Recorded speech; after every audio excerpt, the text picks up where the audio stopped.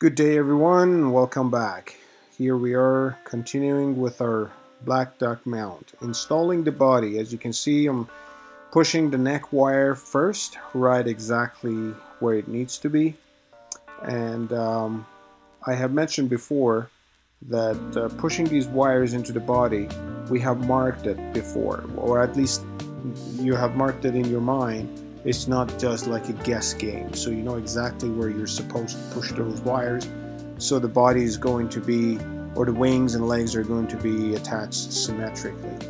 So basically after pushing the wings and leg wires into the body you're gonna see there's a separate piece of wire I'm attaching and that is basically for attachment of of the uh, of the mount to the scenery. This bird is going to be flying and uh, with that pose the breast is going to be attached to the scenery stick or wood and then the back of the bird is going to be on the show side. You can do it different ways. I like to do, do this one uh, because of what kind of bird it is. I like to do it from inside. So basically before I sew up the bird, I push my attachment wire right from the back, coming into the breast area, leaving it all out. Of course, I made the other side like a U, so it goes in into the uh, into the body from the back. Now I'm attaching the leg wires actually. So that wire is going to stick out straight. Make sure that it's not poking your face. And uh, I sew around it when I'm closing up the bird. I sew all around it.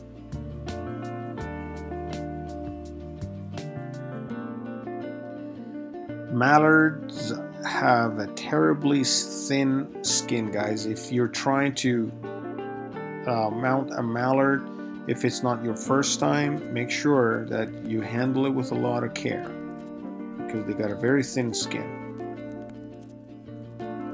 I'm adjusting the placement of the leg wires before I start sewing up. So like every other bird that we do, we're gonna go through a super turbocharge of sewing power going through it because it's a boring thing and you all know how to sew.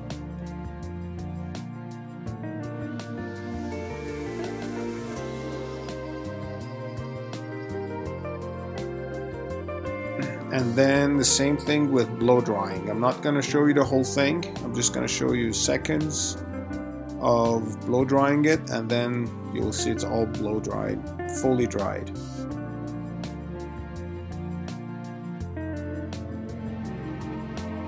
And after we got the bird fully dried out, we're going to attach it to the uh, temporary stand or um, basically um, a stick or anything you want to name it just to pose it before we transfer it to the final base.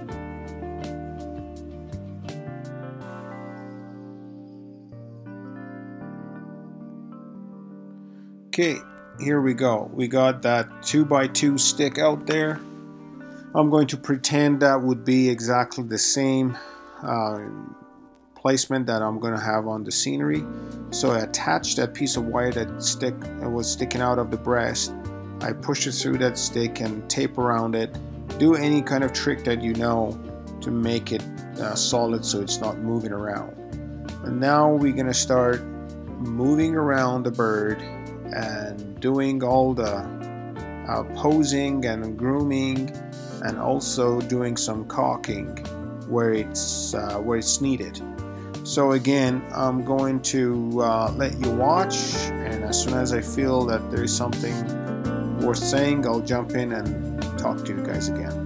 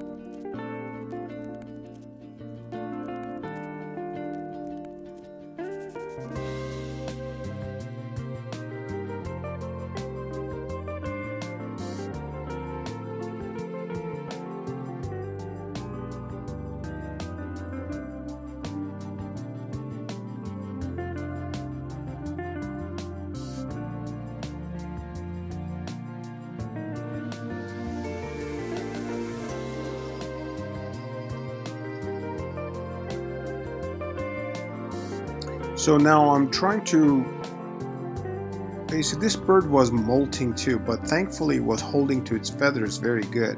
So now I'm trying to pin that um, scapulars to the shoulder or where that uh, flying web wing is attached to the shoulders. I'm trying to pin those areas down so the wings are not uh, basically out of shape. So, and I'm trying to, um, because I'm putting these voices over the video uh, long after the mount has been done. It's not the same day. So I'm trying to remember exactly what I'm doing so I know exactly what to say if there is something important. Oh, actually, you know what? This is an important part here. Um, pinning the skin into the body is important because, uh, especially when it comes to waterfowl, by the time you flesh and clean all the fat, you're going to gain a lot of skin. Um, and you you need to know where the where those extra skin are going to be compacted and pinned down to the body. So underneath the wings, or if you want to call it armpit, that's one area, or top of the shoulder, which is called scapular, that's another area. And all of that uh, areas need to be pinned down properly. So uh, make sure you do that, and uh, especially when your body is foam, so you don't have any um, problem pushing the pins into it. So it's going to be easy, and and even uh, the um, the skin around the neck and the breast still going to be much larger than the body that you have made for for the bird. So that's the importance of the caulking. So you glue and compact the skin on the body where you think it needs to be. And no one can really tell you. I mean, it's it's best to see it firsthand uh, in the shop. But I mean, this is for now is the best we can do from distance. But it comes with practice. Like right now, I'm trying to do the same thing with all the extra skin that we had that came from underneath the legs. Uh, make sure you pin them in so at least your drumsticks and your your leg anatomy is showing perfectly good, especially when it comes to a flying bird. Because uh, flying birds are the most um, compacted they have the most compacted skin and feathers when they're flying. They're not fluffed up at all. So basically I pull the leg muscles and the drumstick muscles up toward the top of the leg and find the extra area that needs to be pinned down and I just pin it down right there.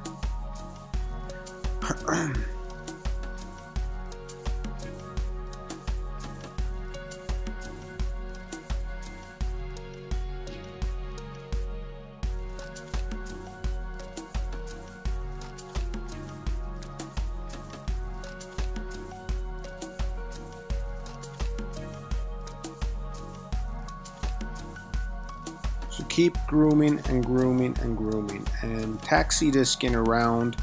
Make sure that um, it's going to be pinned down and glued down exactly where they belong to.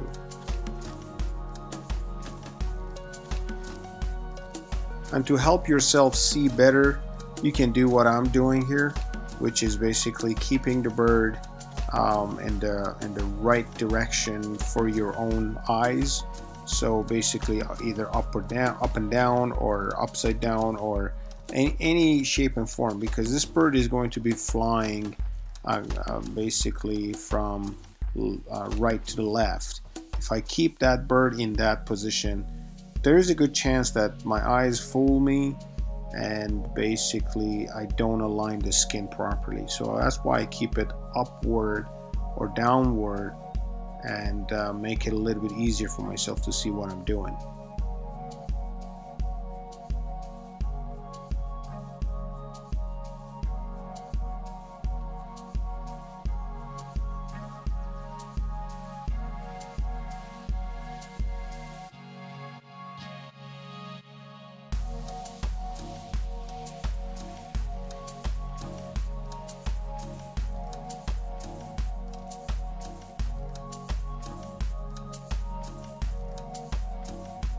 Now, where that wing joint is and pretty much underneath the scapular is exactly where I want to poke a hole and do a little bit of the caulking in there. Not a lot, just make sure that your nozzle is inside the skin. And it might look that I'm moving it violently, but uh, it's in the video, it's really not that uh, violent. I'm, I'm doing it very smooth and make sure that I'm not uh, injecting all over the feathers. I know that uh, some of you guys who've been caulking your birds have experienced that and it's not a good day when that happens. All the caulking needs to be under the skin, not over the feathers. So I do the same thing on the other area too.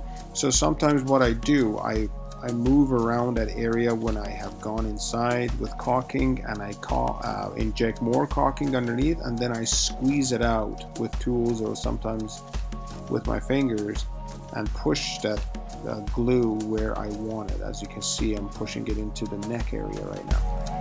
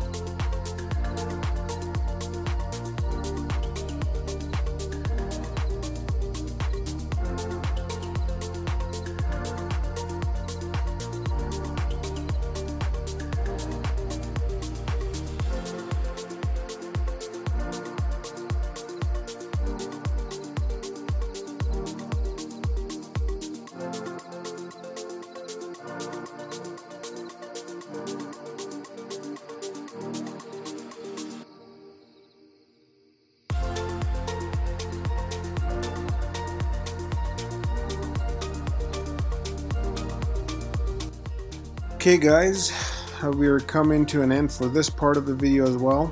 Thank you very much for watching. Tomorrow I'll post another, uh, the next part, which is going to be about carding or taping your flying duck.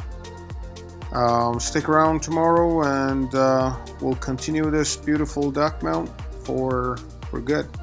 Okay, have a good one. See you.